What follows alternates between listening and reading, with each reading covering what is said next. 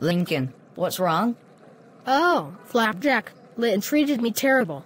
Oh no, that's terrible. But hey, do you want a hug? Oh, yes. Thank you so much, Flapjack. You're welcome. The end.